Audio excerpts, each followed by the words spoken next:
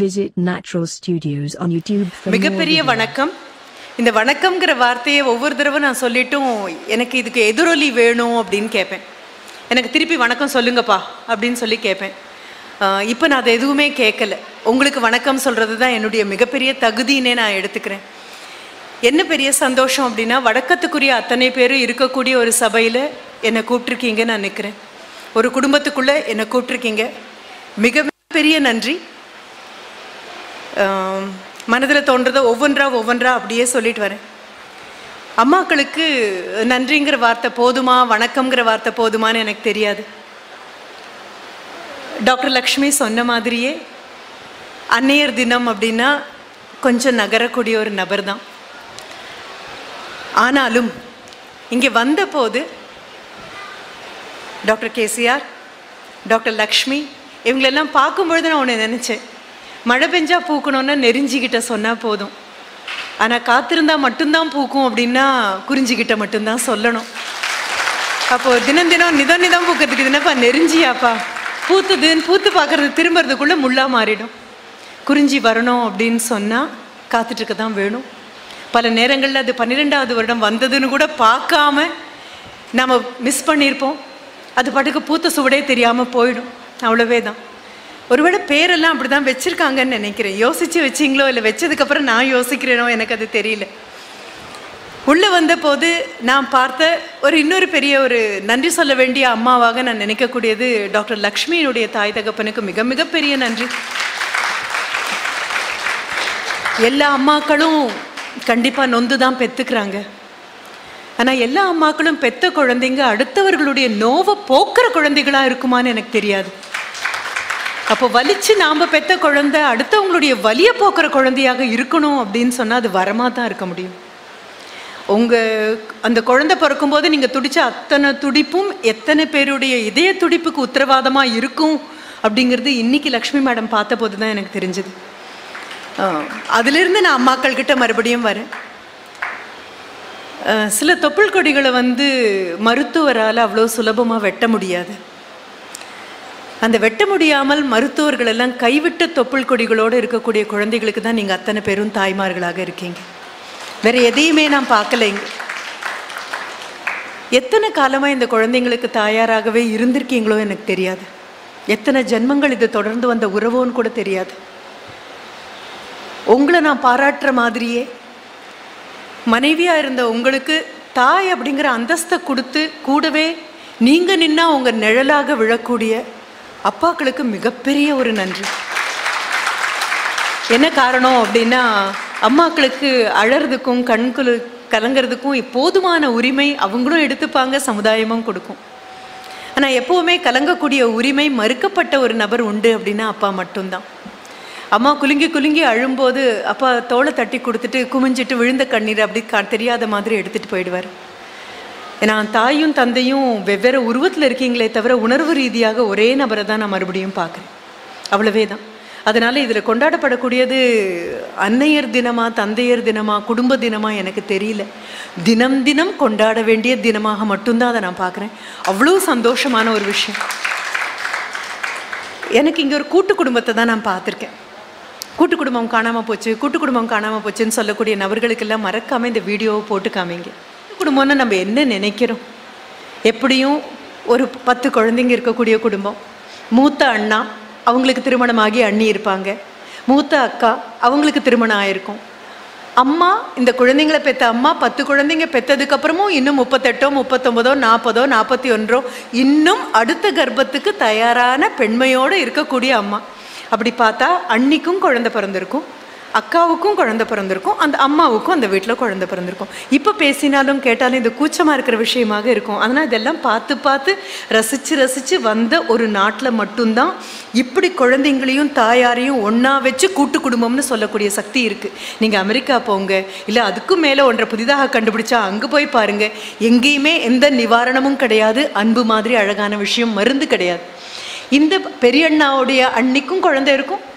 அக்காவும் மூத்த அக்காவும் ஒரு பிரசவம் இருக்கும். அம்மாவுடைய ஏழாவது குழந்தை எட்டாவது குழந்தைக்கு அப்புறம் ஒன்பதாவதாவதும் இருக்கும். வீட்டில் குறைந்தபட்சம் ஒரு நாலு தூளியாவது இருக்கும். அந்த நாலு துளியிலையும் மாதம் ஒரு மூணு மாத குழந்தை ஒரு அஞ்சு மாத குழந்தை ஒரு எட்டு மாத குழந்தை எல்லாமே அம்மாவுடைய முலைப்பாலை குடிக்கக்கூடிய குழந்தைங்களாக இருக்கும். ஏதாவது ஒரு தூளியில் குழந்தை இப்படி நெளிஞ்சாங்க அப்படின்னா அந்த பக்கமாக போகக்கூடிய எந்த அம்மாவாக இருந்தாலும் சரி அது அண்ணியாக இருந்தாலும் சரி பெரியக்காவாக இருந்தாலும் சரி இல்லை அந்த அம்மா இந்த குழந்தைங்களுக்கு பாட்டி உறவான அந்த உமாவாக இருந்தாலும் சரி அள்ளி பிடிச்சு கொண்டு போய் உட்கார வச்சு தன்னுடைய தாய்ப்பாலை கொடுத்துட்டு குழந்தைய கொண்டு வந்து தூளியில் போட்டு திரும்புறதுக்குள்ளே இன்னொரு குழந்தை அங்கே நெளியும் இன்னொரு அம்மா. எந்த அம்மாவும் தூளியை திறந்து இது தன்னுடைய குழந்தையான்னு பார்த்தது கிடையாது. குழந்தை என்னுடைய மார்பில் பால் இருக்குது குழந்தைக்கு பசிக்குது கொடுக்க வேண்டிய பொறுப்பு எனக்கு இருக்குது ஒரு அஞ்சு நிமிஷம் முன்னால் நீங்கள் பார்த்த காட்சி அதுதான். எல்லா குழந்தைங்களையும் எல்லா தாய் தகப்பனும் கொண்டு வந்து மேடையில் உட்கார வச்சாங்க. எல்லா குழந்தைங்களையும் எல்லா தாய் தகப்பனும் மேடையை விட்டு இறக்கி கொண்டு வந்து வச்சாங்க. கதிரவன் கொண்டு வந்து உட்கார வச்ச உடனே மலர் மேடம் பக்கத்தில் வந்து அவன் காலை சரி பண்ணி விட்டாங்க அவன் சட்டையை சரி பண்ணி விட்டாங்க அவன் கன்னத்தில் ஒரு தட்டு தட்டினாங்க கையில் இருக்கிற பூவை கொடுத்தாங்க. அவங்ககிட்ட ரொம்ப உரிமையோட மலர் மேடம் அவன் கண்ணு பார்த்து கொஞ்சம் நேரம் என்னமோ பேசிட்டு போனாங்க. இதுதான் கூட்டு குடும்பம். யாராவது கூட்டு குடும்பம் காணாமல் போயிடுச்சு அப்படின்னா உங்களை கூப்பிட்டு நீங்கள் காண்பிக்கணும். இது கூட்டு குடும்பம் இல்லைன்னா வேறு எதை நீங்கள் கூட்டு குடும்பம்னு காட்ட போகிறீங்க மிகப்பெரிய பாடம் மிக மிக அழகான பாடம். எந்த அம்மா கண்ணுலேயும் எந்த குழந்தையும் வேற குழந்தையா தெரியல. எந்த அப்பா கண்ணுலையும் தூக்கிட்டு இறங்கின அப்பாக்கள் எல்லாமே எல்லா குழந்தைங்களையும் தூக்கிட்டு இறங்கி கொண்டு போய் உட்கார வச்சாங்க. அவ்வளவே தான் அப்புறம் கண்டிப்பாக ஒரு பெரியப்பா பையனோ சித்தப்பா பையனோ அத்தை பையனோ ஒருத்தர் கண்டிப்பாக இருப்பாங்க. மிஸ்டர் சூரஜ் உன்னோட கூட நின்ன அத்தனை ஆண் குழந்தைகளும் மறுபடியும் குழந்தைகள்னு தான் சொல்கிறேன் இவங்க கை எப்படி அசையணும்னு இவங்க கற்பனை பண்ணுறாங்களோ அந்த மாதிரியெல்லாம் கை அசைஞ்சது. அந்த மாதிரியெல்லாம் பாட்டு இருந்தது. குமிஞ்சு ஒருத்தர் ஒருத்தர் கண்ணெல்லாம் தட்டி கொடுத்தாங்க. அவ்வளவு சந்தோஷமாக ஒரு கூட்டும் குடும்பத்தை பார்க்கக்கூடிய பரவசமான வாய்ப்பு எனக்கு கொடுத்ததுக்கு மிகப்பெரிய நன்றி மேடம். வார்த்தை நன்றியை தவிர எங்கிட்ட வேறு எதுவும் இல்லை. நீங்களாக ஏதாவது வேணால் எடுத்துக்கோங்க. அவ்வளோவே தான். நன்றி டு த பவர் ஆஃப் அப்படின்னு போட்டிங்கன்னா எவ்வளோ வரும்னு கூட எனக்கு சத்தியமாக தெரியாது. நான் இதே மாதிரி ஒரு அம்மாவை நான் பார்த்துருக்கேன். பெரும்பாலும் அம்மாக்கள்லாம் நான் உன்னை பத்து மாதம் சுமந்து பெத்தேனே அப்படின்னு எல்லாம் நம்ம சொல்லுவோம். அந்த மேத்தமேட்டிக்கல் ரிட்டர்ன் திருப்பி நீ இதெல்லாம் எனக்கு பண்ண வேண்டாமா? அப்படின்னு அந்த டயலாக் பேசும்பொழுதெல்லாம் கூட நான் ரொம்ப கூச்சப்படுவேன். அம்மானா அதெல்லாம் சொல்லக்கூடாது. அவ்வளோதான் அப்படிலாம் சொல்லாமல் இருந்தால் தான் அந்த அம்மாங்கிற அந்த தன்மை பூரணமாக மாறும். அப்பாங்கிற தன்மை பூரணமாக மாறும். தாயும் தகப்பனும் அதை சொல்லக்கூடாது குழந்தைங்க அதை மறக்கவும் கூடாது. இதுதான். இது ஒரு டூ வே டிராஃபிக் இங்கிருந்து போகும் இங்கிருந்து வரும் எங்கே ரெண்டும் இணையுதுங்கிறது யாருக்கும் தெரியாது. நான் ஒரு அம்மாவை பார்த்துருக்கேன். என் கூட என்னுடைய சக ஊழியராக இருந்த ஒரு பெண்மணி தன்னுடைய வேலையை பேராசிரியர் வேலையை துறந்து குழந்தைக்காக ஒரு மிகப்பெரிய ஒரு தியாகத்தை பண்ணாங்க. It was not disease it was dyslexia அந்த குழந்தையுடைய பிரச்சனை வேறு. இந்த மஸ்குலர் டிஸ்டாஃபி அல்ல அது டிஸ்லெக்ஸியா ஏன்னா இந்த குழந்தைங்கள முகத்தில் ஒரே சிரிப்பும் சந்தோஷமும் மனசும் பிரகாசமாக வெளிச்சம் வெளிச்சமாக தெரிஞ்ச குழந்தைங்க மாதிரி அல்ல. அந்த முகத்தில் கொஞ்சம் குழப்பம் தெரியும் புரியலைங்கிற விஷயம் தெரியும். அவங்க என்னுடைய அறைக்கு வந்து அவங்களுடைய குழந்தைய வகுப்பில் சேர்க்கும் பொழுது ஒரு குறிப்பிட்ட பாடத்திட்டத்தில் வகுப்பில் சேர்க்கும் பொழுது முதல் நாளே வந்தாங்க. வந்தபோது நான் அவங்கள பார்த்து குறைந்தபட்சம் ஒரு பதினெட்டு வருஷம் இருக்கும். எங்கேயா திடீர்னு? என்ன பண்ணிட்டு இருக்கீங்க அப்படின்னு சொன்னபோது ஷீ செட் உன் வகுப்புக்கு என்னுடைய குழந்தை ஸ்டூடெண்ட்டாக வரப்போகிறான் அது அவனுடைய ஆசிரியர்கள் அத்தனை பேர்கிட்டையும் நான் சொல்கிறேன் சொல்லிட்டு சொல்லிட்டு வரேன். கொஞ்சம் என் குழந்தைக்கு இந்த பிரச்சனை இருக்குது அவ்வளோவே தான் பத்திரமா பார்த்துக்கணும். வேறு ஒன்றுமே இல்லை. சரி. தினமும் காலையில் கல்லூரிக்கு அந்த குழந்தை வருவான். அம்மா கிளம்பி கொண்டு வந்து விட்டுட்டு அம்மா கிளம்பி போனதாக தான் அந்த குழந்தை நினைப்பான். ஆனால் அம்மா பார்க்கிங் ஸ்லாட்டில் காரில் உட்காந்துருப்பாங்க அவ்வளோவே தான். ஏன்னா எப்போ இவனுடைய மனசில் கொஞ்சம் ஒரு வயலண்ட்டான நினைவு வரும்னு தெரியாது. எப்போ இவனுக்கு கோபம் வரும்னு தெரியாது. எப்போ இவனுடைய வருத்தம் மற்றவர்களால் கட்டுப்படுத்த முடியாத சூழலுக்கு போகும்னு தெரியாது. அந்த குழந்தை வகுப்பில் உட்காந்துருக்கும் போது முதல் வரியில் உட்காந்துட்டு இருக்கக்கூடிய குழந்தை எல்லா குழந்தைகளுக்கும் ஒரு தடவை சொன்னால் புரியும் அப்படின்னு சொன்னால் அவனுக்கு குறைந்தபட்சம் அவனுடைய வேகத்துக்கு ஒரு நாலு தடவையாவது சொல்லணும். நான் மறந்து போய் கொஞ்சம் வேகமாக மற்ற குழந்தைங்களை பார்த்து சொல்லும் பொழுது பாஞ்சு என் கையை பிடிச்சி முதல் வரியில் உட்காந்துருப்பான் பிடிச்சி ஜெபி மேம் கொஞ்சம் கூட மெதுவா. நான் குமிஞ்ச அவனை பார்த்தேன் ஐ எம் டிஃப்ரெண்ட் அப்படின்னு சொல்லுவான். அவன் சொல்கிறான் எம் டிஃப்ரெண்ட். நான் கொஞ்சம் வேறு மாதிரி குழந்தை இல்லையா? அதில் வருத்தம் இருக்காது. அதில் கர்வமும் பெருமையும். நான் அப்போ தான் புரிஞ்சுக்கிட்டேன். வேறுபட்டு இருக்கிறது கூட கர்வம் சம்மந்தப்பட்ட விஷயம். வேறுபட்டு இருக்கிறது கூட பெருமை சம்மந்தப்பட்ட விஷயம். ஆண்டவன் அக்கறையாக உங்களை வேறுபட்ட ஒரு நபராக காட்டுறதுக்கு கூட பின்னால் மிகப்பெரிய ஏதோ ஒரு காரணம் மறைச்சி வச்சிருக்கான். அவ்வளவே தான் நமக்கு தெரியல நமக்கு புரியல அவ்வளோதான் அப்படின்னு சொல்லிட்டு எல்லாரும் எழுதுகிற வேகத்தோட கொஞ்சம் குறைவாக இருக்கும். சில சமயம் நான் வகுப்பு எடுக்கும்போது திரும்பி பின்னால் இருக்கிறவங்க கிட்ட சந்தேகம் கேட்பான். அவனை புரிஞ்சுக்கிறதுக்கு எனக்கு கொஞ்சம் கஷ்டமாக இருந்தது. ஆனாலும் புரிஞ்சு கொள்ளும் பொழுது தான் வாழ்க்கை எவ்வளவு அழகானது அப்படின்னு தெரிஞ்சது. நீங்களும் நானும் நினைக்கிற மாதிரி வெறும் தென்னை மரமோ இல்லை வெறும் பாக்கு மரமோ வெறும் பனை மரமோ இல்லை வெறும் ஆலமரங்களோ இருந்தால் அதற்கு வனம்னு பேர் இல்லை. விதம் விதமான மரங்கள் இருக்கும். விதம் விதமான குணங்களோட இருக்கும். எத்தனை தான் பார்த்து பார்த்து ஒரு தோப்பு உருவாக்கினாலும் காட்டுக்குள்ளே போகும்போது இருக்கிற சந்தோஷம் வேற தான் அந்த வனம் மாதிரி. அந்த குழந்தைகிட்ட நான் ஒரு பாடம் படித்தேன் மிக அழகான பாடம். என்ன எல்லா குழந்தைங்களையும் கேட்டு இங்கிலீஷில் அவங்க பேசணும். சரி பேச சொல்லலாம். கடைசி பெஞ்சில் நான் உட்காந்து ஒவ்வொருத்தரையா இன்ட்ரடியூஸ் யுவர் செல்ஃப் மழை மழை மழைன்னு ஒவ்வொரு குழந்தையும் தன்னைத்தானே அறிமுகப்படுத்தும் போது இவனுடைய டேர்ன் வந்தது. வந்து நின்னாச்சு பேச ஆரம்பிச்சான். பேசி முடிச்சதுக்கப்புறம் நான் அவங்ககிட்ட கேட்டேன். எல்லாருக்கும் என்ன பொழுதுபோக்கு? அப்படின்னு கேட்பேன். இப்போ கதிரவனுடைய அம்மாட்ட கூட நான் அது கேட்டேன். குழந்தைக்கு என்ன பண்ண பிடிக்கும்? என்ன பண்ண அவன் சந்தோஷமாக இருப்பான் அப்படின்னு கேட்டேன். அதே மாதிரி இந்த பையன்கிட்ட கேட்டேன் வாட் இஸ் யோர் ஹாபி உனக்கு என்ன பொழுதுபோக்கு? குவிஸ் அப்படின்னு சொன்னான். அடுத்த நிமிஷம் நான் இப்படி இங்கேருந்து பார்க்குறேன். என் மனது என் தலைக்குள்ளே போய் என்னுடைய தலை சாஞ்சு கேள்விக்குறி இருக்கக்கூடிய முகம் அவனுக்கு புரிஞ்சுது. அடுத்த நிமிஷம் அவன் கேட்டது எனக்கு பதில் சொன்னான். என்ன? You know why I love quiz எனக்கு ஏன் குவிஸ் பிடிக்கும் தெரியுமா? ஹோல் கிளாஸே எழுபது பேர் இருக்கக்கூடிய வகுப்பு இன்னைக்கு அவனை ஒரு பொருட்டா நினச்சி ஆன அண்ணாந்து பார்த்தாங்க. சிரிச்ச குழந்தைங்க எத்தனையோ பேர் கிண்டல் பண்ண குழந்தைங்க எத்தனையோ பேர் புரிஞ்சுக்க முடியலன்னு விட்டுட்டு போன குழந்தைங்க எத்தனையோ பேர் அத்தனை பேரும் இன்னைக்கு முதல் முதலாக எனக்கு குவிஸ் வினாடி வினா எனக்கு ரொம்ப பிடிச்ச ஒரு பொழுதுபோக்குன்னு சொன்ன குழந்தைய ஆன அண்ணாந்து பார்க்குறாங்க நானும் இருக்கேன். அவன் சொன்ன பதில் என்ன தெரியுமா? எல்லார்கிட்டேயும் ஒரு கேள்வி கேட்டால் பதில் சொல்கிறதுக்கு ரெண்டு நிமிஷம் யோசிக்கணும். எனக்கு எப்பவுமே யோசிக்கணும். அதனால குவிஸ் வரும்போது மற்றவங்களுக்கும் எனக்கும் ஒரு வித்தியாசமும் இருக்காது. எல்லாரும் யோசிச்சு தான் பதில் சொல்லுவோம் நான் அப்போ தான் நினச்சேன் ஓஹோ வாழ்க்கையை இப்படி பார்க்கலாமா? இந்த கோணத்துலேருந்து பார்த்தா வாழ்க்கை வேற மாதிரி இருக்குமா? அடுத்தது அவங்கிட்ட நான் கேட்ட ஒரு கேள்வி. What you do when people don't understand you உன்னை யாரும் புரிஞ்சுக்கலன்னா என்ன பண்ணுவேன் அவன் சொன்ன பதில் நம்ம கோட்டபிள் கோட்ஸ் அப்படிமோல அன்றாடம் படித்து படித்து படித்து தினம் தினம் அதை பார்த்து பார்த்து நம்ம மேலே உயரணும்னு நினைப்போமே. அப்படி ஒன்றாக என்னுடைய அட்டெண்டன்ஸ் நோட்புக்கில் எழுதி கொண்டு வந்து பத்திரமா வச்சு எத்தனை மேடைகளை சொன்னாலும் எனக்கு நாக்கில் தழும்பேறாது சலிப்பு வராது ஏன்னா ஒவ்வொரு தடவை சொல்லும் பொழுதும் அவன் சொன்ன அந்த வார்த்தைக்கு அந்த வரிக்கு பக்கத்தில் போக முயற்சி பண்ணுறேன் யாரும் உன்னை புரிஞ்சுக்கலன்னா என்ன பண்ணுவேன் அப்படின்னு கேட்டபோது பளீர்னு ஒரு சிரிப்பு. அந்த மாதிரிலாம் சிரிக்க முடியாது யாராலையும். அது மனசு சிரிச்சா மட்டும்தான் அந்த சிரிப்பு அவ்வளோ வெளிச்சமாக விழும்.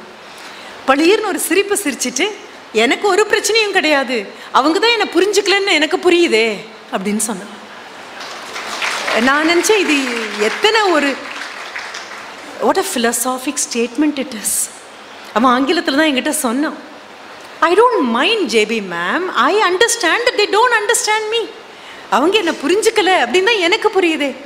எவ்வளோ அழகான ஒரு வாழ்க்கை தத்துவம் அது. ரெண்டு பேருக்கும் புரியாம போகும்போதே தானேப்பா இணக்கம் இல்லாம பிணக்கம் வருது. என்ன உனக்கு புரியலைங்கிற விஷயம் எனக்கு புரிஞ்சாச்சு அப்படின்னு சொன்னா சண்டைக்கான எந்த சூழலுமே அங்க இல்லையே. போர் தொடங்குறதுக்கு முன்னாலேயே அமைதி பிரகடனம் பண்ணியாச்சு இல்லையா?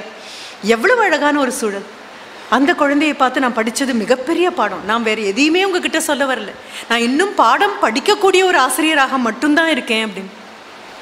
இதே மாதிரி இன்னொரு அனுபவம் சைக்காலஜி ஸ்டூடெண்ட் இந்த குழந்தை இப்போ எங்கேயோ ஷீ இஸ் இன் யூகே ரொம்ப அழகாக சைக்காலஜி சூரஜை பற்றி சொல்லும் பொழுது டாக்டர் எங்கிட்ட லக்ஷ்மி மேடம் சொன்னாங்க ஆண்களால் இவ்வளவு பண்ண முடியும் அப்படிங்கிறது எனக்கு சூரஜ் பார்த்ததுக்கப்புறம் தான் தெரிஞ்சது அப்படின்னு சொல்லி. ஆண்களுக்கு மட்டும் நம்மளால அனுமதி கொடுக்க முடியும் அப்படின்னா அம்மாக்களெல்லாம் சுண்டு விரலால் நகர்த்திட்டு ஓராயிரம் அம்மாக்கள் ஒன்றா வந்த மாதிரி ஆண்கள் மாறிடுவாங்க. அவ்வளவே தான் நாம் அம்மா அம்மான்னு இறுக்கி பிடிச்சி அவங்க இடத்தையும் ஆக்கிரமிக்கிறதுனால தான் பிரச்சனை. கொஞ்சம் நகர்ந்து பாருங்களேன் உங்களை மாதிரி பத்து அம்மா ஒத்த அம்மாவாக சேர்ந்த மாதிரி ஒரு அப்பாவால் நிற்க முடியும். அந்த குழந்தை ஒரு குழந்தை வகுப்பில் சைக்காலஜி மேஜர் அவகிட்ட நான் கேட்டேன். ஏன் சைக்காலஜி ஏன் எடுத்தீங்க? அப்படின்னு கேட்டபோது அந்த குழந்தை சொன்னால் அந்த கிளாஸ்லேயும் அறுபது பேர். அத்தனை பேரும் அப்போ தான் அவளையே பார்க்குறாங்க. ஏன்னா இந்த கேள்விக்கு பதில் எல்லாருக்குமே எல்லாரையும் அடையாளம் தெரியக்கூடிய ஒன்று. சிரிச்சிட்டே அந்த பொண்ணு என்கிட்ட சொன்ன பதில் என்ன தெரியுமா? எங்கள் அம்மாவுக்காக தான் நான் இந்த கோர்ஸ் எடுத்தேன். உங்கள் அம்மாவுக்காக சைக்காலஜி ஆமாம் பிஎஸ்சி சைக்காலஜி பண்ணணும். அதுக்கப்புறம் மாஸ்டர்ஸ் கிளினிக்கல் சைக்காலஜிக்குள்ளே போகணும்.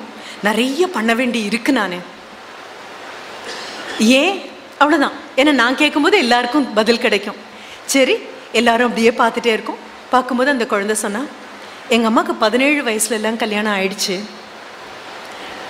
பதினெட்டு வயசில் எங்கள் அக்கா பிறந்தாச்சு. அப்போது எங்கள் அம்மா அப்பா எல்லாம் ஒரு கல்ஃப் கண்ட்ரியில் இருக்காங்க. அப்பா சம்பளிக்கணும் சம்பாதிக்கணும் அங்கே இருக்காரு. குழந்தை பிறந்த போது தான் அம்மாவுக்கு தெரியும் அக்காவுக்கு டவுன் சின்ரோம் ஒன்றும் பண்ண முடியாது. மனநிலை பாதிக்கப்பட்டிருக்கக்கூடிய ஒரு பெண் குழந்தை. நான் இப்போ யோசிச்சு பார்க்குறேன் பதினெட்டு வயசில் ஃபஸ்ட் இயரில் சைக்காலஜி ஸ்டூடெண்ட்டாக ஆரோக்கியமாக நிற்கக்கூடிய நான் யோசிச்சு பார்க்குறேன் பதினெட்டு வயசில் கையில் அந்த குழந்தைய வச்சுட்டு எங்கள் அம்மா என்ன பாடுபட்டிருப்பா? எங்கெல்லாம் ஓடி இருப்பா? அதுவும் மொழி தெரியாத ஒரு ஊர் உறவினர்கள் இல்லாத ஒரு ஊர் நட்பு இல்லாத ஒரு ஊர் தொழில் ரீதியாக அப்பா போய் அங்கே இருந்தே ஆகணும் இந்த குழந்தைய அம்மா வளர்த்தே ஆகணும் அப்படின்னு. அம்மாவுக்கு உளவியல் பற்றியெல்லாம் எதுவும் தெரியாது. சாதாரணமான ஒரு பெண்ணாக வீட்டில் இருந்தபோது பிடிச்ச கல்யாணம் பண்ணியாச்சு. கிடைச்சிருக்கக்கூடிய இறைவன் கொடுத்த குழந்தை இந்த மாதிரி. அப்போது அப்போது எங்கள் அம்மா முயற்சி பண்ண ஆரம்பிச்சாங்க. நீங்கள் அவினாஷிலிங்கம் யூனிவர்சிட்டி பற்றி மேடம் சொன்ன அதுவே தான் அப்போது அங்கே ஒரு கோர்ஸ் இருந்தது. ஒரு ஆறு மாத ஒரு கிராஷ் ப்ரோக்ராம் மாதிரி அவினாஷிலிங்கம் யூனிவர்சிட்டியில் ஒன்று நடந்துட்டு இருந்தது. எதற்காக அப்படின்னு சொன்னால் இந்த மாதிரி மன வளர்ச்சி குன்றிய குழந்தைகளுக்கு உதவக்கூடிய தாயாராக பூரணமான ஒரு அம்மாவாக மாறுவது எப்படி? நடு இரவில் குழந்தை காலை உதச்சிட்டு அழுதா? எந்த அம்மாவுக்கும் தெரியாது. ஒவ்வொரு தடவையும் பக்கத்தில் நின்று பார்த்து பார்த்து பாடம் படிக்கிற மாதிரி குழந்தையோட அழுகையும் அம்மா படிக்கணும். இது கழுதா இது பசி இது வலி இது தூக்கம் இது என்ன தூக்கிக்கோன்னு அர்த்தம். இது போட்டுட்டு இருக்க ட்ரெஸ் எங்கேயோ உறுத்துதுன்னு அர்த்தம். இல்லை இருக்கக்கூடிய டயப்பரை நினச்சிட்டேன்னு அர்த்தம். ஏதோ ஒன்று ஒவ்வொரு அம்மாவுக்கும் ஒன்றும் உடனடியாக தெரியாது. பார்த்து பார்த்து பார்த்து பார்த்து எங்கேயோ நிற்கும்போது ஒரு ஆறு மாதம் ஆனதுக்கப்புறம் குழந்தை அழறான் அப்படின்னோடனே ஓ இதுக்காக அழறான் இதுக்காக அழகிறான்னு அம்மா சொல்வா. ஆனால் படிச்சிருக்கா சிலபஸ் மாதிரி படிச்சிருக்கா. இது இந்த குழந்தையை தூக்கிட்டு எங்கள் அம்மா மேலும் கீழும் ஓடின போது எப்படி தவிச்சிருப்பா? எத்தனை பாடுபட்டிருப்பா? அப்புறம் யூகே போக வாய்ப்பு கிடைச்சது. அப்பா அங்கேருந்து மைக்ரேட் பண்ணி யூகே போன போது இதே மாதிரி அக்காவை நாங்கள் ஒரு வீல் சேரில் உட்கார வச்சு கூட்டிகிட்டு போவோம். ஜூக்கெல்லாம் கூட்டிகிட்டு போவோம். இப்படி கூட்டிகிட்டு போகும்போது சுற்றியில் இருக்கிறவங்க எல்லாம் அக்காவை ரொம்ப ரொம்ப ஏதோ வினோதமான பொருள் மாதிரி பார்ப்பாங்க. அப்போ அம்மாவை அக்கா பிடிச்சி இழுப்பா. அம்மா பக்கத்தில் வந்தோன்னே அக்கா கேட்பா why do they look at me instead of the animals கூண்டில் இருக்கக்கூடிய விலங்குகளை பார்க்காம ஏமா என்ன பார்க்குறாங்க? அப்படின்னு அம்மாவை கேட்பானோ அம்மா இப்படி தோலை அரவணைச்சிட்டு ஒன்றும் இல்லை விடு அப்படின்னு. இந்த பொண்ணு வகுப்பில் அது சொல்லும்போது நாங்கள் அத்தனை பேரும் பார்த்துட்டு இருந்தோம். படிக்கிறது எல்லாரும் படிக்கலாம். ஆனால் எத்தனை பேருக்கு அந்த படிப்பு படியும்னு ஒன்று இருக்கு இல்லையா? அப்போவே பதினெட்டு வயசில் பதினெட்டு வயசில் குழந்தைய தூக்கிட்டு ஓடின அந்த அம்மாவை பற்றி அடுத்த தோசைனா எங்கள் அம்மா ரொம்ப பெரிய ஆள். ரோல் மாடல் எனக்கு எங்கள் அம்மா தான். பெரிய படிப்பு கிடையாது. ஆனால் மனிதர்கள் முகத்தை புத்தகம் மாதிரி படிக்கிற ஆள் எங்கள் அம்மா. எங்கள் அக்காவுக்கு அவங்களால முடிஞ்ச அளவு எங்கள் அக்கா யாராவது ஃபோன் பண்ணால் அவளுடைய நாற்காலியை தள்ளிட்டே போய் ஃபோனை அட்டன் பண்ணி அவளால் முடிஞ்ச மாதிரி பெரிய பெரிய பெரிய பெரிய எழுத்தில் நம்பரை எழுதி வைக்கிற அளவுக்கு எங்கள் அம்மா அவளுக்கு பயிற்சி கொடுத்தாங்க. எந்த பயிற்சியும் இல்லாமல் இயற்கை கொடுத்த தாய்மைங்கிற ஒரு பயிற்சியும் ஆறு மாதம் இந்த திணறலை எப்படி அழகாக தூக்கிட்டு போகிறது அப்படிங்கிறதும். எனக்கு அந்த குழந்தை சொன்ன போதும் வளர்றதுக்கான ரொம்ப பெரிய ஒரு வாய்ப்பு கிடைச்சி. நான் வேறு எங்கிருந்தும் உங்களுக்கு மேற்கோள் காமிக்கல. நான் காண்பிக்கக்கூடிய மேற்கோள் எல்லாம் மீண்டும் மீண்டும் மீண்டும் வாழ்க்கைக்குள்ளேருந்து மட்டும்தான். ஏன்னா அவ்வளோ பெரிய அம்மாக்கள் நீங்கள்லாம். ஏன்னா அன்றாட குருட்சேத்திர யுத்தத்தில் நீங்கள்லாம் நின்றுட்டு இருக்கீங்க. அர்ஜுனன் மாதிரி கையில் இருக்கக்கூடிய எல்லா விதமான படைக்கலன்களையும் கீழே போட்டுட்டு பண்ணின தவமும் வாங்கின வரப்பிரசாதமும் எல்லாம் கீழே போட்டுட்டு வாழ்க்கை இவ்வளோ பெரிய ஒரு உருவத்தில் நிற்குதே நான் என்ன பண்ணுவேன்? அப்படின்னு எல்லா அம்மாக்களும் உங்களை நோக்கி திரும்பும்போது கண்ணன் விஸ்வரூபம் எடுத்தாரா இல்லையான்னு எனக்கு தெரியாது. ஆனால் இங்கே வந்த அத்தனை பேரும் விஸ்வரூபம் எடுத்து நின்னீங்கிறதுல மாறுபட்ட கருத்தே கிடையாது. நீங்கள் சொன்ன பி ஹாப்பி அப்படிங்கிறத விட மிகப்பெரிய பகவத்கீதை வேறு எதுவுமே கிடையாது. அவ்வளோ அழகாக நீங்கள் சொன்னீங்க. இதே மாதிரி இன்னொரு குழந்தைய நான் பார்த்தேன். இந்த இந்த அனுபவம் எப்படி இருக்குது முதுகுவலி அத்தனை படி ஏறி ரிட்டையர் பண்ணுறதுக்கு ஆச்சு. அத்தனை படி ஏறி வகுப்பு வாசலில் போய் இப்படி நின்றுட்டு இப்படியே கொஞ்சம் நெளிஞ்சிட்டே இருப்பேன். அஞ்சு நிமிஷத்தில் கடந்த தூரம் அது ஒரு காலம் இருந்தது. அஞ்சு நிமிஷத்தை எட்டு நிமிஷம் ஆகும் அப்படிங்கிற காலம் இருந்தது. ஃபர்ஸ்ட் பெல் அடிக்கிறதுக்கு முன்னாலேயே கிளம்பிட்டா மட்டும்தான் வேகமாக போய் நான் வேகமாக போகிறதா நான் நினச்சேனே தவிர ஊர்ந்து போகிறவங்க கூட என்னை தாண்டி போயிட்டு இருந்தாங்க. அது வேற கணக்கு.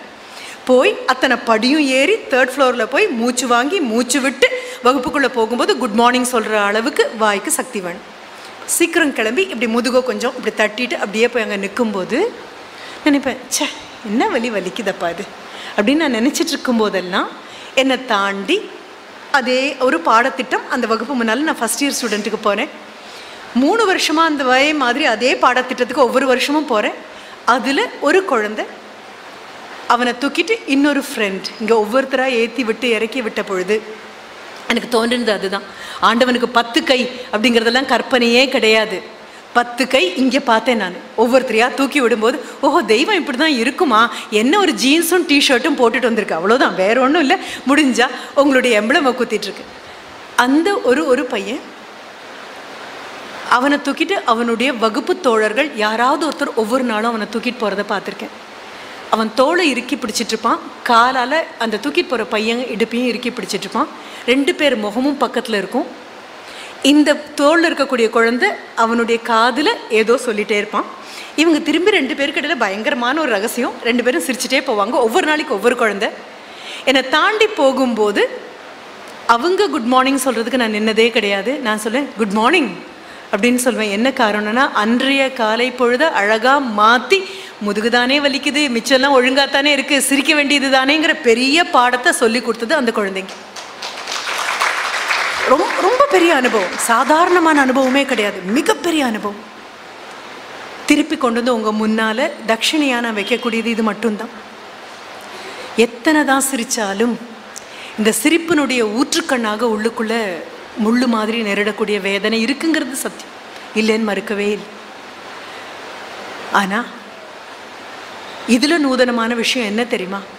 நான்கு வருடத்திற்கு முன்னால் இங்கே இப்படி ஒரு நிவாரணத்திற்கான வாய்ப்பு இருக்குன்னு கூட தெரியாமல் எது திக்குன்னு தெரியாமல் எது திசைன்னு தெரியாமல் எது நிவாரணம் தெரியாமல் எது சிகிச்சைன்னு தெரியாமல் யார்கிட்ட அன்பு கிடைக்கும் தெரியாமல் யார்கிட்ட ஆறுதல் கிடைக்கும் தெரியாமல் எந்த விரல்கள் தீண்டினால் நிவாரணம் கிடைக்கும்னு கூட தெரியாமல் அலப்பாஞ்சிட்டு இருந்த பொழுது எங்கேயோ ஒரு சூரியன் உதிச்சு உங்கள் முன்னால் வந்து உங்கள் வரலை பிடிச்சி இழுத்து வாங்க தன்வந்திரியில் இப்படி ஒன்று இருக்குது குறிஞ்சி ஹாஸ்பிட்டல் இப்படி ஒன்று இருக்குன்னு சொல்லக்கூடிய ஒரு வாய்ப்பு கிடைச்சது இல்லையா? அந்த நம்பிக்கைக்கு மிகப்பெரிய நன்றி. என்ன காரணம்னு சொல்கிறேன் ஒரு மிகப்பெரிய நீர்வீழ்ச்சி மிகப்பெரிய நீர்வீழ்ச்சி நயகரான் வேணாலும் நீங்கள் எடுத்துக்கோங்க. அந்த நீர்வீழ்ச்சி ஒரு ரெண்டு மலைகளுக்கு நடுவுலேருந்து அப்படியே பல்லாயிரக்கணக்கான இடி முழங்குற மாதிரி தட தடன்னு முழங்க முழங்க அந்த தண்ணி கொட்டிகிட்டு இருக்கு எல்லாரும் ஆன ஆச்சரியமே பார்த்துட்ருக்காங்க அப்போது இந்த டைட் ரோப் வாக்கிங் அப்படின்னு சொல்லுவோம். ஒரு கயிறு மேலே கீழே விழாமல் நம்ம பார்த்துருப்போம். இந்த டம்பங்குத்தாடிகள் கழைக்குத்தாடிகள்னு சொல்லுவோமே. அந்த மாதிரி ஒரு நபர். ஆனால் அவர் இந்த குச்சிக்கும் இந்த குச்சிக்கும் நடுவில் இருக்கிற கயிற்றுல நடக்கிற ஆள் அல்ல. இந்த சிகரத்துக்கும் இந்த சிகரத்துக்கும் நடுவில் ஒரு கயிறை கட்டி நடக்கக்கூடிய ஆள் கீழே மிகப்பெரிய அருவி கொட்டிட்டு இருக்கும். ஜனங்கள்லாம் பார்த்துட்டு இருக்காரு அவர் இந்த மூலிலிருந்து இந்த முகடு வரைக்கும் ஒரு கைத்தை கட்டி அவருக்கு லைஃப் லைன் கிடையாது ஒன்றும் அவரை பிடிக்கல. ரொம்ப நிதானமாக அந்த பக்கம் போய் இறங்கின உடனே மக்களால் நம்பவே முடியல. படபட படபடரு அத்தனை பேர் கைத்தட்டினதும் அந்த நீர்வீழ்ச்சியினுடைய ச- அந்த சத்தத்தை காட்டிலும் அதிகமான கைத்தட்டல்.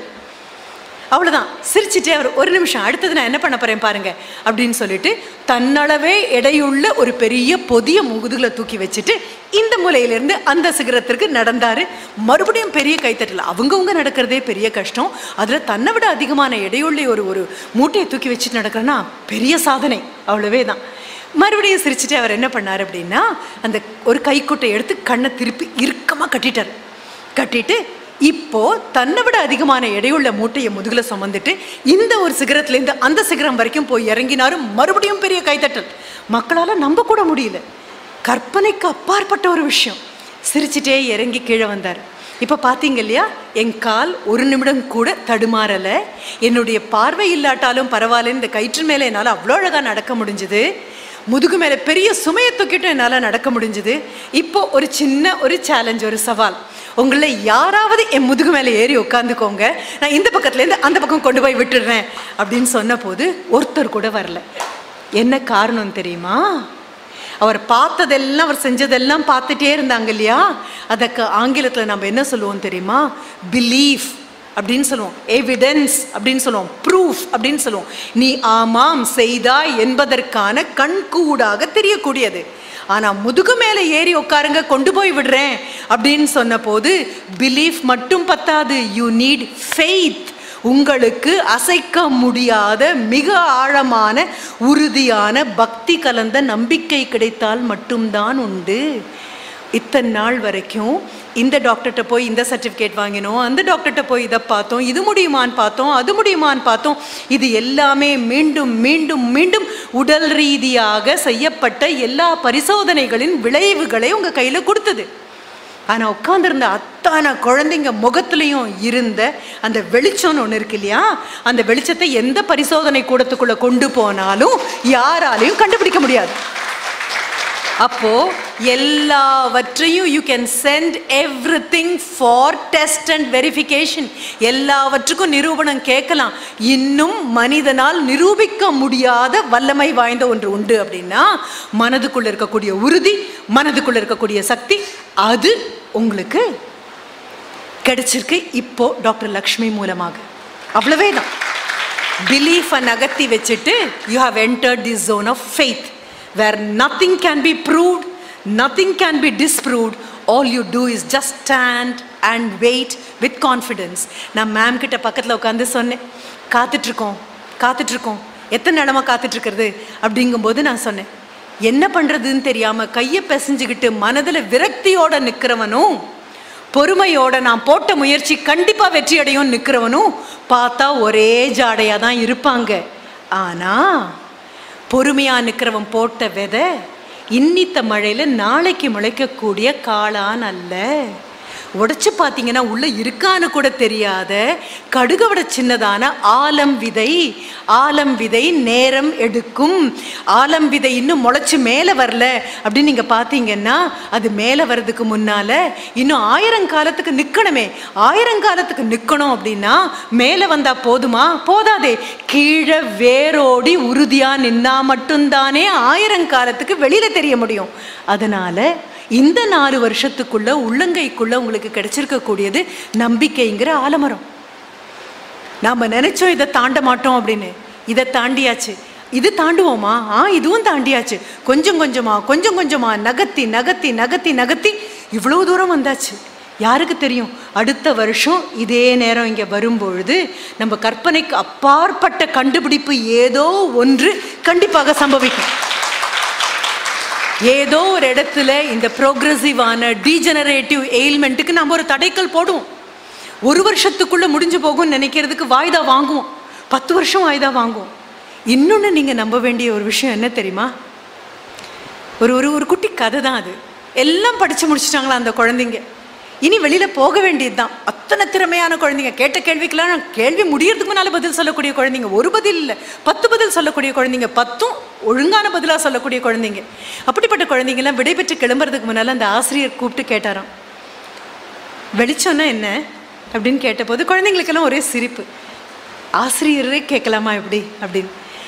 சிரிச்சிட்டே சொன்னாராம். இல்லை வெளிச்சம்னா நீ என்ன நினைக்கிற? இதான் நாளைக்கு கிளம்பி வெளியில் போக போகிற சொல்லு வெளிச்சம்னா நீ நினைக்கிறேன் ஒரு பையன் எழுந்திருச்சு பதில் சொன்னார். வெளிச்சம்னா கண்ணுக்கு முன்னால் இருக்கிறது மரமா?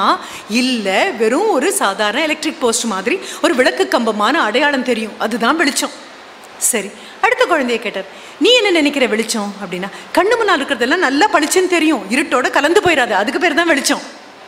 ஒவ்வொரு குழந்தையும் ஒவ்வொரு குழந்தையும் திறமையான குழந்தைங்கெல்லாம் வெளிச்சம் தானே வெளிச்சம் தானே வெளிச்சம் தானே சொல்கிறாங்க ஆனால் யார் சொன்ன பதிலும் இவருக்கு திருப்தி அடைஞ்சதாகவே தெரியல. கடைசியாக எல்லாம் பேசி முடிச்சதுக்கப்புறம் அவர் சொன்னார் நீங்களும் ரொம்ப புத்திசாலிங்கன்னு நினச்சேன் ஆனால் வெளிச்சங்கிற வார்த்தைக்கு அர்த்தமே சொல்லலையே அப்படின்னு. அந்த ஆசிரியர் இங்கே வந்திருந்தாருன்னா அவருக்கு வெளிச்சத்துக்கு அர்த்தம் கிடச்சிருக்கும். ஆசிரியர் சொன்னாராம் எது வெளிச்சம் தெரியுமா? எதிரில் இருக்கிறது ஆணா பெண்ணாங்கிற வித்தியாசம் இல்லாமல் என் இனத்தை சேர்ந்தவர்களா வேறு இனத்தை சேர்ந்தவங்களாங்கிற கவலை இல்லாமல் பணக்காரனா ஏழையாங்கிற பாகுபாடு இல்லாமல் இந்த எதுவுமே இல்லாமல் எதிரில் பார்க்கக்கூடிய எல்லாரும் என் கூட பிறந்தவங்க அப்படிங்கிற நினைப்பு உன் கண்ணில் தெரியுமே ஆனால் அது வெளிச்சம். இப்போ நீங்கள் வந்திருக்கிற இடம் என்ன தெரியுமா? எல்லா கண்கள்லேயும் அந்த வெளிச்சம் இருக்கக்கூடிய இடத்துக்கு வந்திருக்கீங்க. இனி உங்கள் நிழல் கூட வெளிச்சமாக தான் விழும். போய் நின்று பாருங்க எங்கேயாவது. உங்கள் பின்னால் நிழல் விழுந்ததுன்னா மற்றவர்கள் பின்னால் இருட்ட விழக்கூடியது உங்கள் பின்னால் மிகப்பெரிய வெளிச்சமாக இருக்கும்.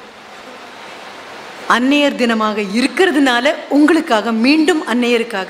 ஏன்னா உங்ககிட்ட என்ன எடுத்துகிட்டு போகிறது தான் அதிகம். கொடுத்துட்டு போகிறது ரொம்ப ரொம்ப கம்மி. உங்ககிட்ட மிகப்பெரிய ஒரு விண்ணப்பம் நான் முன்னால் வைக்கிறேன். எல்லாரும் அட்டென்ஷனில் நின்று ஒரு நேஷ்னல் அந்தம் பாடும்போது அந்த ஒரு வினாடி இப்போ ஐபிஎல் மேட்ச் போயிட்டுருக்கோம். எத்தனை பேர் மனசில் போயிட்டுருக்கோ தெரியாது.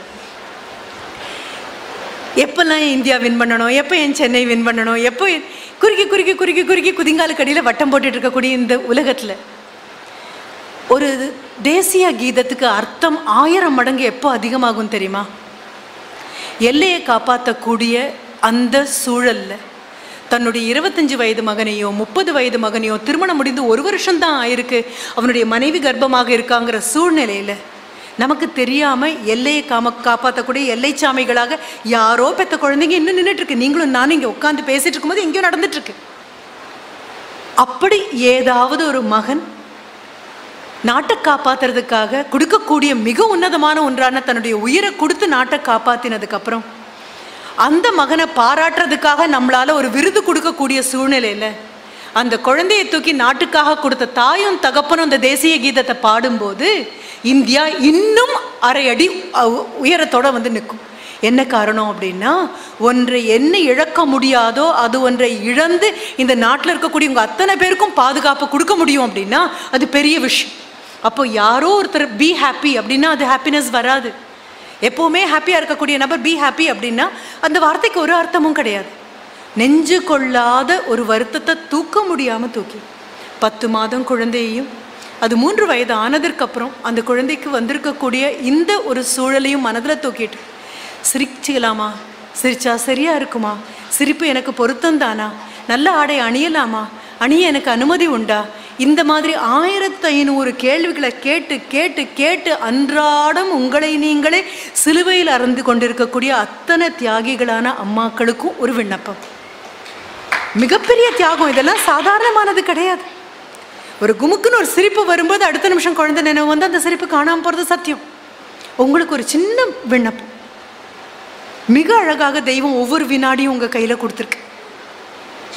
நான் பார்வதி மேடம் கிட்ட சொன்ன அதே தான் சொல்ல போகிறேன் குழந்தைகள் எல்லாம் அபிமன்யுக்களான்னு எனக்கு தெரியாது பிரகலாதர்களான்னு எனக்கு தெரியாது கருவிலே திருவுடையவர்கள்னு எனக்கு தெரியும். ஆனால் மார்க்கண்டேயனுடைய அம்மா எப்படி உணர்ந்திருப்பான்னு உங்கள் அத்தனை பேரையும் உணரும் பார்க்கும்போது எனக்கு தோணுது. நூறு வருடம் இருக்கக்கூடிய மிக புத்தி ஒரு எந்த அறிவும் இல்லாத ஒரு குழந்தை வேணுமா? பதினாறு வயசே இருக்கக்கூடிய அதிபுத்திசாலியான சான்றோனான ஒரு குழந்தை வேணுமான்னு கேட்டபோது பதினாறு வயதுள்ள அதிபுத்திசாலியான குழந்தை போதும்னு சொன்ன தாயும் தகப்பனும் தகப்பன் சான்றோன் ஆக்குதல் தந்தைக்கு கடனே என் குழந்தை சான்றோன் அப்படிங்கும்போது தந்தைக்கு ஒரு பெரிய பெருமை வரலாம். ஆனால் ஒவ்வொரு நாளும் ஒவ்வொரு நாளும் கடந்து போகும்போது பதினாறு வயதை நோக்கி அந்த குழந்தை போகும்போதெல்லாம் அந்த அம்மா எப்படி பரிதவிச்சிருப்பா? ஆமாம் கடைசியில் யமனை புறந்தள்ளி மார்க்கண்டேயனுக்கு தீர்காயசு கொடுத்த இறைவன் தோன்றும் வரை அவளுக்கு தோன்றுவான்னு கூட தெரியாது இல்லையா உங்கள் வாழ்க்கையிலையும் அப்படி இறைவன் தோன்றுவான். கடைசி நிமிடம்னு நீங்க நினைச்சிட்டு இருக்கும்போது எங்கிருந்தோ மார்க்கண்டேயனை காப்பாத்துறதுக்காக இறைவன் வந்து நின்னது ஒவ்வொரு நாளும் அந்த தாய் தன்னுடைய மனதில் சுமந்த அந்த பக்தி தான் இது ஒன்று தான் உங்களை காப்பாற்றும் இன்னொன்று உங்களுடைய மிகப்பெரிய பலம் என்ன தெரியுமா? You have the healing touch அதை தான் நான் கடைசியாக உங்ககிட்ட சொல்ல விரும்புகிறேன் மைதாஸ்னு ஒரு மன்னன் அவன் தொட்டதெல்லாம் பொண்ணாச்சு. அவன் பொண்ணு ஓடி வந்தபோது தொட்டான் அவளும் பொன்னானான்னு சொல்லுவாங்க. இது உண்மையோ பொய்யோ எனக்கு தெரியாது.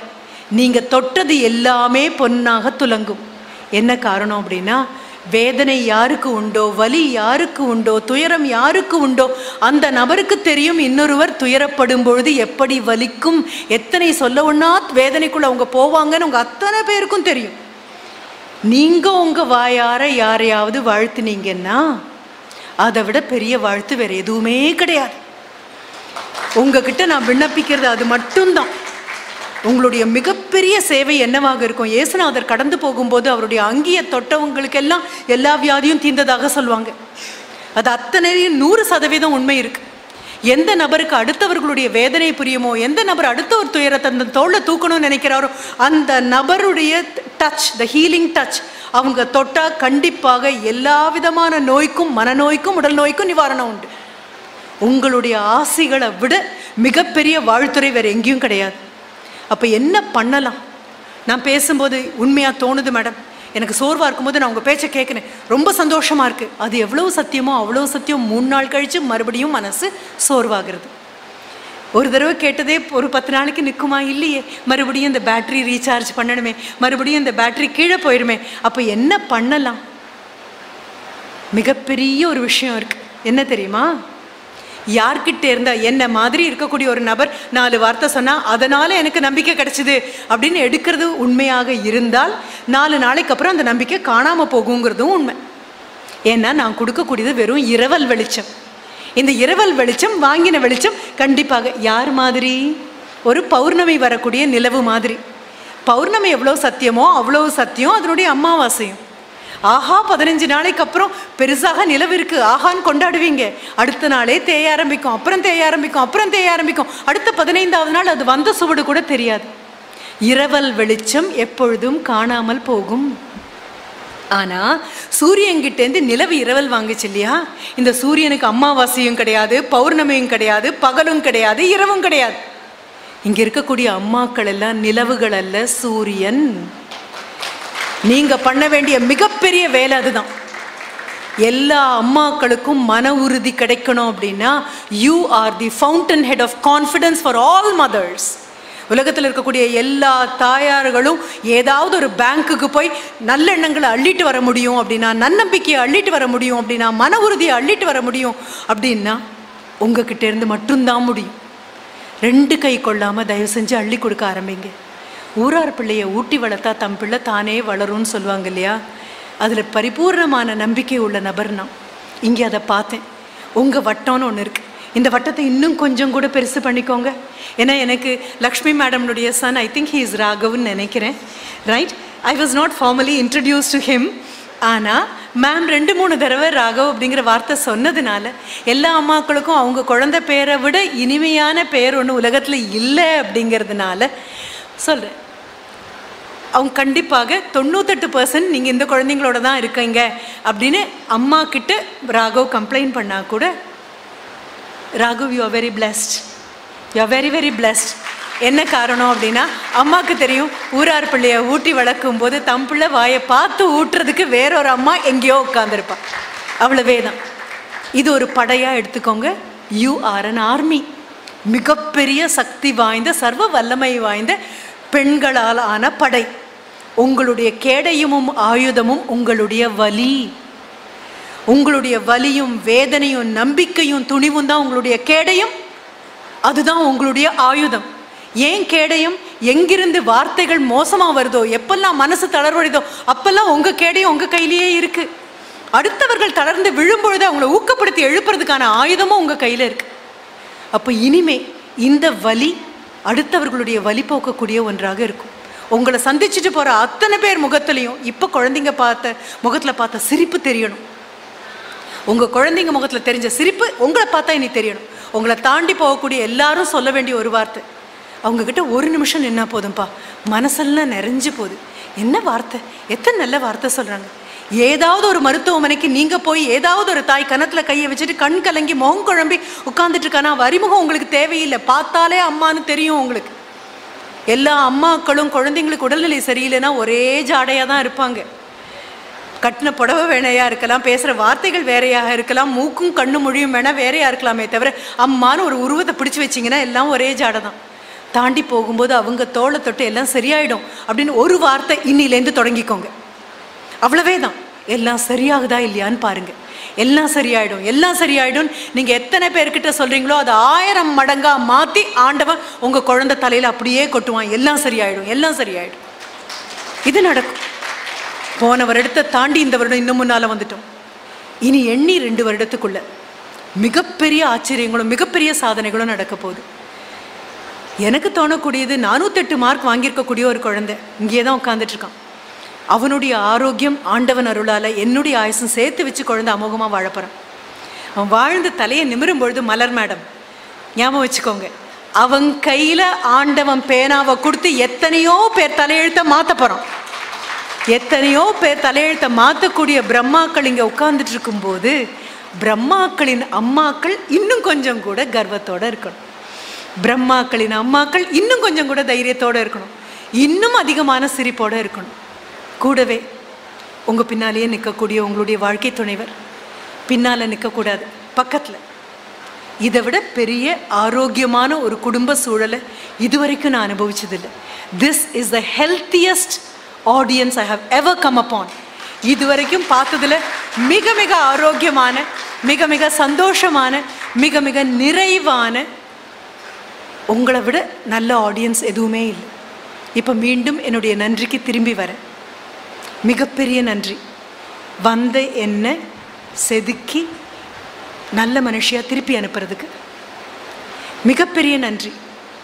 இதோ இங்கே இருக்கக்கூடிய இந்த தெய்வம் மாதிரி நீங்கள் இங்கே வந்து பார்க்க வேண்டிய இந்த தெய்வம் ஏன் குறிப்பாக இந்த கோவில் இந்த தெய்வம்? ஒரு பார்க்கடல் அதை கடையிறாங்க. கடையும் பொழுது ஒவ்வொன்றா ஒவ்வொன்றா ஒவ்வொன்றா அதுலேருந்து வெளியில் வருது. காமதேனு வெளியில் வருது கல்பவருஷம் வெளியில் வருது. கடைசியாக கையில் அமிர்தத்தை எடுத்துட்டு வந்த கடவுள் முன்னால தான் நீங்கள் அத்தனை பேரும் உட்காந்துருக்கீங்க கையில் ஒரு அமிர்தம் என்ற காலத்திலும் மிருத்யு இல்லை அப்படின்னு சொல்லக்கூடிய ஒரு தெய்வம் கையில் எடுத்துட்டு வந்த தெய்வத்தின் முன்னால். இதுக்கு இன்னொரு அர்த்தமும் இருக்குது நம்ம எல்லாருடைய மனசும் பார்க்கடல். அமிர்தம் வந்தது எவ்வளோ சத்தியமோ அவ்வளோ சத்தியம். அதிலிருந்து ஆலகாலம் வந்ததும் அதிலிருந்து விஷம் வந்ததும் எப்பெல்லாம் மனசு சோர்வுங்கிற விஷயத்துக்குள்ளே போகுதோ எப்பெல்லாம் தளர்ச்சிங்கிற விஷயத்துக்குள்ளே போகுதோ எப்பெல்லாம் தோல்வி வந்துடுமோ அப்படிங்கக்கூடிய ஒரு நிலைக்குள்ள மனது போகுதோ அப்போ மறுபடியும் ஞாபகம் வச்சுக்கோங்க அதே பார்க்கடல்லிருந்து தான் அமிழ்தமும் வந்தது. இந்த மனசுல இருந்து தான் நம்பிக்கை வரும். எந்த மனசு சோர்வை பார்க்குதோ அதுதான் நம்பிக்கை கொடுக்கும். எந்த மனசு வலி உணர்ந்ததோ அந்த மனசு மட்டும்தான் வாழ்த்த முடியும். மனசுங்கிற பார்க்கடலை பத்திரமா எடுத்துட்டு போங்க. கையில் இந்த அமிர்தத்தை தூக்கிட்டு வந்த தெய்வத்துக்கிட்ட ஒரு அப்ளிகேஷன் போட்டுட்டு போங்க. லக்ஷ்மி மேடம் என்னுடைய சின்ன பல் உபாதைக்காக நான் ஆண்டவனை வேண்டிட்டேன்னு என்கிட்ட சொன்னப்போ அது கூட நான் சொன்னேன் சுச்சோ இந்த சின்ன விஷயத்துக்கெல்லாம் தெய்வத்தை கூப்பிடாதீங்கப்பா. பெரிய தெய்வம் பெரிய வேலைகள் பண்ண வேண்டிய பொறுப்பில் போய் கொசு கடிக்கிற மாதிரி நம்ம கேட்கக்கூடாது. நீங்கள் எனக்கு கொடுத்துருக்கக்கூடிய பெரிய பாடம். இனி கோவிலுக்கு போனால் எனக்கு கேட்குறதுக்கு எதுவுமே இல்லை. கிடைச்சதுக்கு நன்றி சொல்கிறதுக்குள்ள என் வாழ்க்கை முடிஞ்சு போயிடும். தெய்வத்துக்கு நன்றி. தெய்வமாக என் முன்னால் உட்காந்துருக்கக்கூடிய தாய் தகப்பனுக்கு மிகப்பெரிய நன்றி. நன்றி. வணக்கம்.